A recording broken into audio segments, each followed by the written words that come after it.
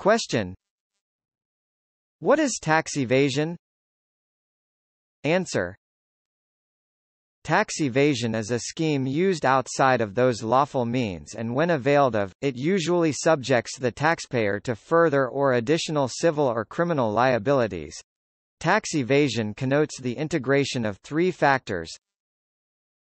The end to be achieved, the payment of less than that known by the taxpayer to be legally due, or the non-payment of tax when it is shown that a tax is due. An accompanying state of mind which is described as being evil, in bad faith willful, or deliberate and not accidental. And a course of action or failure of action which is unlawful.